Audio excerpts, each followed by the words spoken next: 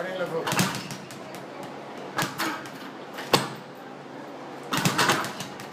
और अब लगो